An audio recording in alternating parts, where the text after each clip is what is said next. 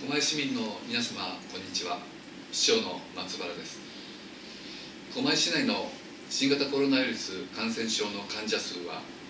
東京都の発表によりますと8月6日時点で1名増え累計47名に退院等されている方は35名となっております。現在東京都は夜間の繁華街への外出を控え飲食を伴う会食は午後10時までと要請しております。会食での感染が多くなっておりますので市民の皆様には引き続き感染拡大防止にご協力をお願い申し上げます。今日は新型コロナウイルス感染症患者の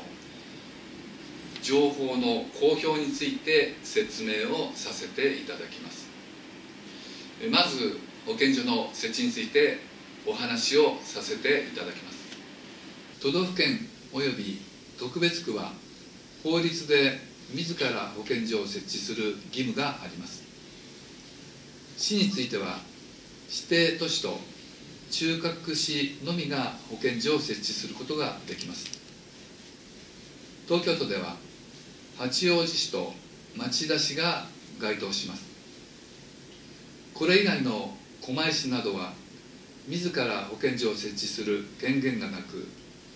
当該市町村を包括する都道府県が設置した保健所の所管に属することになります。それではフリップを変えます。狛江市は東京都が設置する府中市宮西町にある多摩府中保健所に属しています。この多摩府中保健所は武蔵野市三鷹市府中市調布市小金井市そして狛江市の6市を所管しています。このことから患者さんの情報は市にはなく東京都が公表した内容しか情報がありません。東京都には性別や年齢などの公表を市として要望していますが現時点でお知らせできる情報は都が公表している内容だけとなります。ご理解よろしくお願いを申し上げます。これからも